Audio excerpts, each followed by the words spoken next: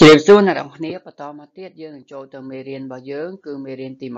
26ដែលនៅសភៅ Minano Nihongo ភាគ2តោះយើងចូលទៅសភៅ Minano Nihongo ភាគ2ហើយនៅទំព័រទី4នៅចំណុច Renshu A ពីលេខ1ដល់លេខ4អញ្ចឹងសម្រាប់អ្នកដែលអត់មានសភៅសូម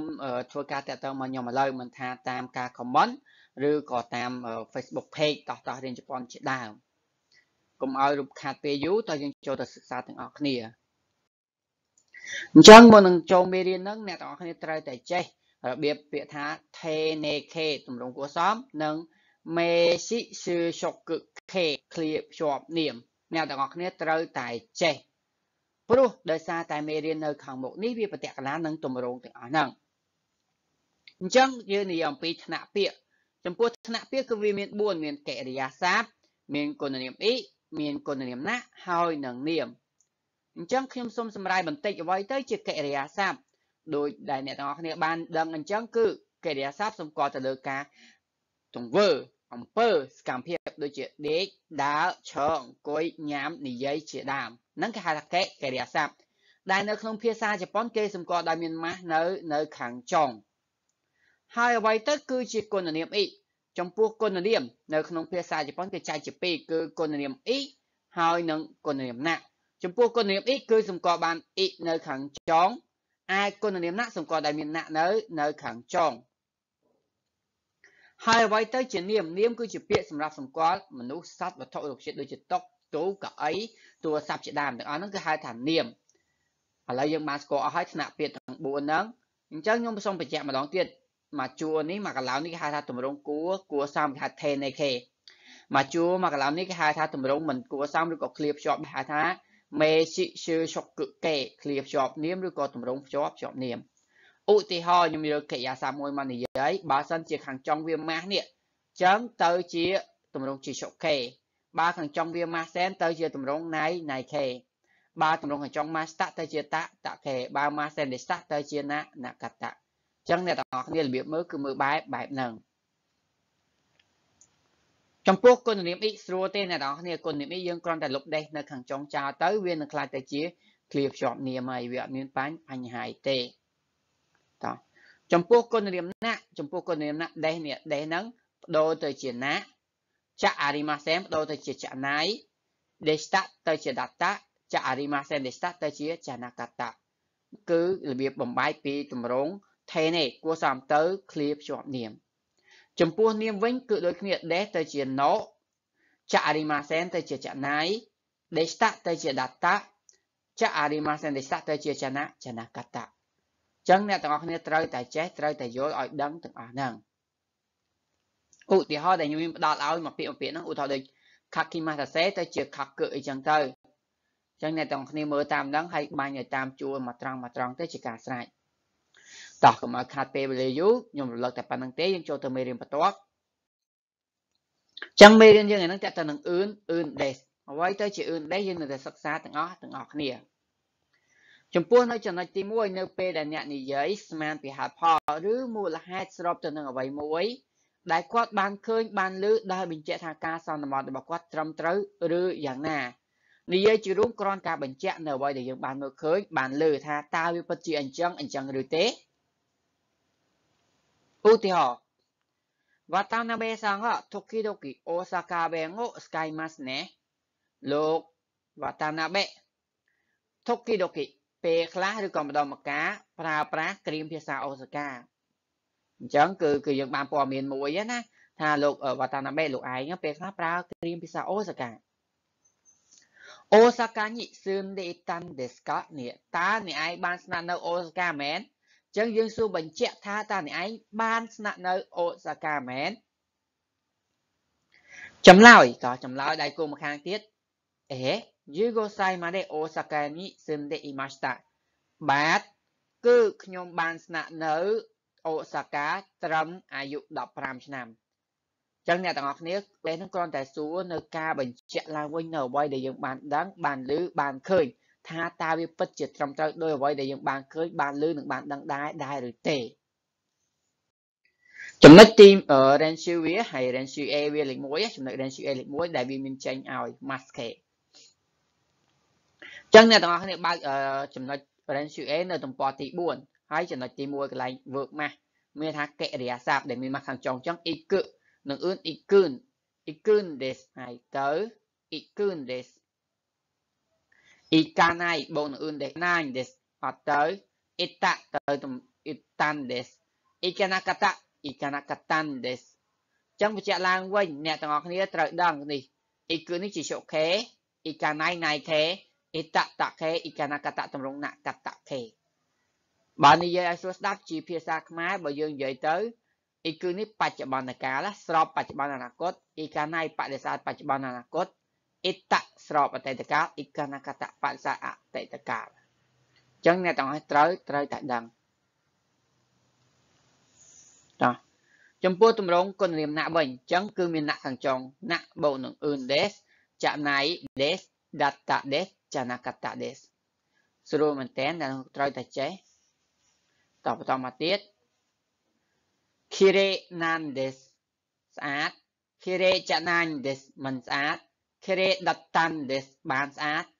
Kire Chanakatandes មិនបានស្អាតតបន្តមកទៀត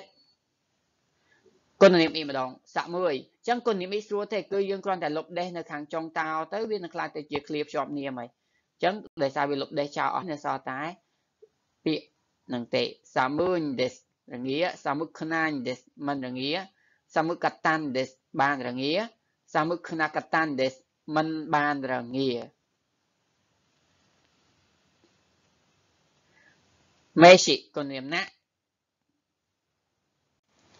អញ្ចឹងចំពោះគុណនាមណាដូចដែលយើងដឹងអញ្ចឹងចំពោះនាមសំទោចំពោះនាមដូចដែលយើងបានដឹងអញ្ចឹងគឺមានណាក់នៅកន្លែងហ្នឹងតែធិតប៉ិតធិតប៉ិតយើងត្រូវដាក់ណូប៉ុន្តែដោយសារទម្រង់វេយ្យាករណ៍អឿនដេសនេះគឺត្រូវបូកជាមួយនឹងណាក់វិញអត់បូកជាមួយនឹងនឹងណុទេអញ្ចឹងប្រយ័ត្នឡើងហ្នឹងតិចទៅណា ឃ្លាភ្ជាប់នាមគឺ des ទៅជាណុប៉ុន្តែដោយសារតែទម្រង់វិជ្ជករអឿន des ទម្រង់វិជ្ជករអឿន des នេះគឺត្រូវបូកជាមួយនឹងណាក់អញ្ចឹងកន្លែងនេះយើងចំណាំតិចឬក៏កត់ចំណាំតិចទៅថានាមបូកអឿន des គឺប្រណាក់មិនមែនប្រណុទេប្រយ័ត្នតិចប្រយ័ត្នឡើងហ្នឹងតិចហ្នឹងហើយចាអញ្ចឹងវយោគិ nan des ឈឺវយោគិ chanai des មិនឈឺយោគីដាតាន់ des បានឈឺយោគីចនកតាន់ des មិនបានឈឺ ចឹងអ្នកទាំងអស់គ្នាប្រយ័ត្នមិនតិចកន្លែងហ្នឹងប្រយ័ត្នឲ្យមែនតែនឲ្យប្រយ័ត្នទៀតចាអឿន des ចំណុចមួយទៀតអឿន des នៅចំណុច A2 នៅពេលអ្នកនិយាយសួររកព័ត៌មានអំពីអ្វីដែលគាត់បានឃើញឬមិនបានឮអញ្ចឹងក៏យើងអាចប្រើអាចប្រើនៅនៅអត្ថន័យ earn days ដែរឧទាហរណ៍តោះទៅហើយ面白いデザインの靴ですね គឺជាស្បែកជើងដែលមានការរចនាម៉ូដដែលគួរឲ្យចាប់អារម្មណ៍មែនណា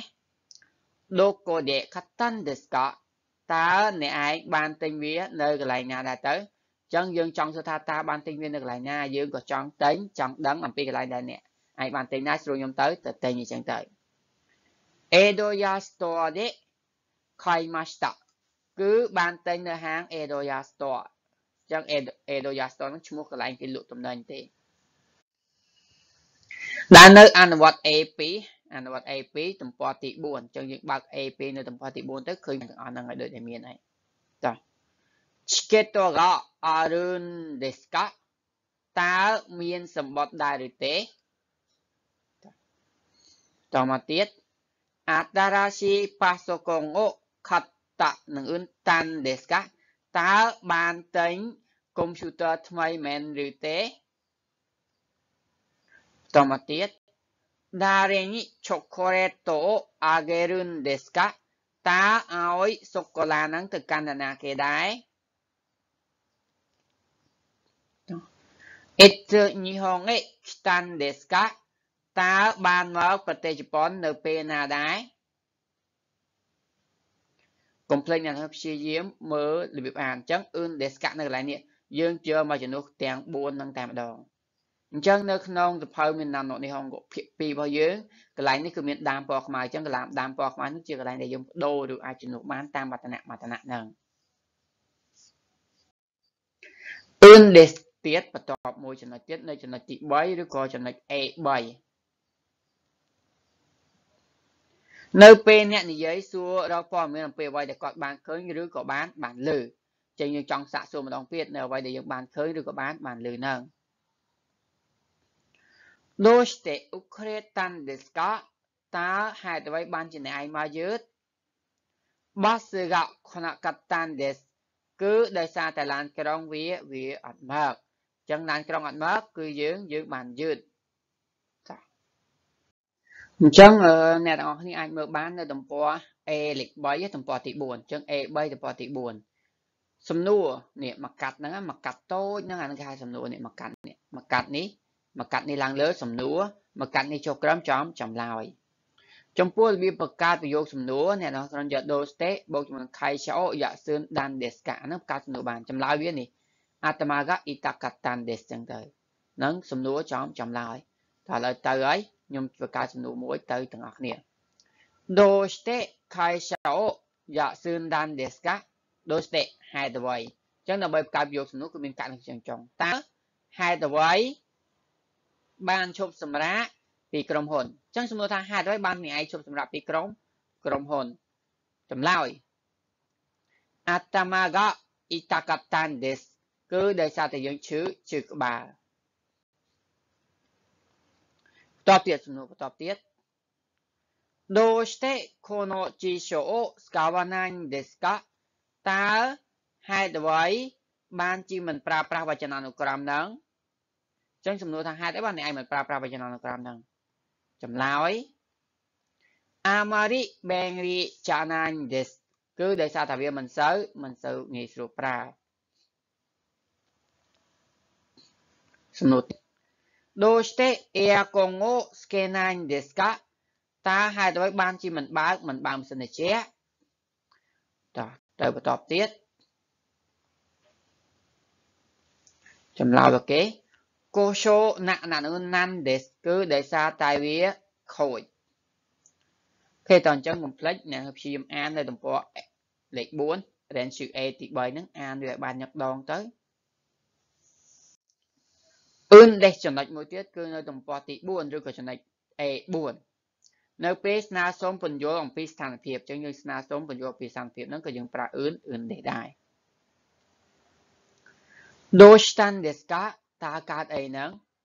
ちょっと気分が悪いんですគឺអារម្មណ៍អត់សូវអត់សូវល្អទេតមួយទៀតនៅបើកសភៅនៅទំព័រទី4 A លេខ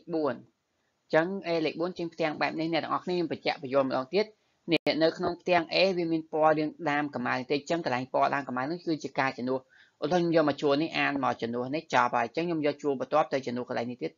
បន្ទាប់ទៀតទៅជួសទៀតចឹងមិនថាអានបាន3 3ដង ប្រយ័ត្នណាអ្នកគ្នាកន្លែងហ្នឹងតោះទៅហើយវតាជីវៈឧណ្ដូកាយនិសង្កសិមាសេអញ្ចឹងយើងឃើញខានណាអានចាប់មកខានបបប្រែខ្ញុំអត់ចូលរួមកម្មវិធីប្រកួតប្រកួតកីឡាទេតោះតមកទៀតហ្វឹកគូអូកាអេសិតចូលសរឿនទេសគឺដោយសារតែយើងចុះបេសកកម្មនៅហ្វឹកគូអូកាចាប់ហើយចាប់មកគឺមិនឃ្លីហើយ តមកទៀតយើងចូលជួរទី2យកជួរនេះទៅជំនួសកន្លែងជួរនេះទៀតទៅយើងអាចបានពីរដងតោះទៅហើយវតាស៊ីវ៉ាអ៊ុនដូកៃនេះសាងកាស៊ីម៉ាសេខ្ញុំអត់ចូលគួតកម្មវិធីគួតកលាទេយោជីកាអរុនដេសគឺដោយសារតែមានធុធរៈតបន្តទៀតចូលជួរទី3វតាស៊ីវ៉ាអ៊ុនដូកៃនេះសាងកាស៊ីម៉ាសេខ្ញុំមិនចូលរួមប្រកួតកម្មវិធីគួតកលាទេ ស៊ឺហ្គោកវ៉ារុនដេសគឺដោយសារតែកលៈទេសៈមិនល្អឬក៏សភាពលក្ខណៈមិនមិនល្អមានថាមែនទៅកលៈទេសៈវាមិនអំណោយផលសម្រាប់យើងចូលចូលចូលរួមទេអញ្ចឹងយើងបានចប់អស់ហើយទាក់ទងនឹងទំនងវេយ្យាករណ៍អឿនដែលយើងទៅរំលឹកឬក៏អនុវត្ត notch range B អញ្ចឹងសូមទៅធ្វើនៅ range B នៅទំព័របន្ទាប់គឺទំព័រទី5នៅទំព័រទី5ដែលមានចាប់ពីចំណុចទី1ដល់ចំណុចទី5អញ្ចឹងអ្នកទាំងអស់គ្នាទៅធ្វើទៅហើយកត់ចម្លើយទៅផ្ញើឲ្យខ្ញុំមើលក៏បានឬក៏ធ្វើចម្លើយ check ខ្លួនឯងក៏បានឬក៏ធ្វើឲ្យថតចូលក្នុង comment នេះក៏បានករណីមានចម្ងល់ឆ្ងល់កន្លែងណាមួយសូមធ្វើការតាក់ទងមកខ្ញុំឥឡូវនេះខ្ញុំនឹងបញ្យល់លម្អិតបន្ថែមឲ្យម្ដងទៀតមួយទៀតបើអ្នកចង់បានសភៅមិនថានៅខ្មែរមិនថានៅជប៉ុននេះសភៅភាសាជប៉ុនតាក់ទងមកខ្ញុំភ្លាមចង់ដឹងទៅរៀនសភៅអីល្អចង់ដឹងរៀនសភៅណាត្រូវនឹងកម្រិតរបស់យើង កុំឲ្យខាពេលយូតទៅមកខ្ញុំឥឡូវនេះខ្ញុំនឹងផ្ដល់ដំបូន្មានឬក៏របៀបនៃការរៀនទៅឲ្យអ្នកទាំងអស់គ្នាអរគុណសម្រាប់ការតាមដានសង្ឃឹមថាអ្នកទាំងអស់គ្នានឹងចូលរួមទៅជួយ Subscribe Channel YouTube វាសនា Official ម្នាក់មួយហើយដាក់រូបសញ្ញាកណ្ដឹងដើម្បីទទួលបានព័ត៌មានថ្មីៗរាល់ការផលរបស់ខ្ញុំជួបគ្នានៅវីដេអូបន្ទាប់បាយបាយ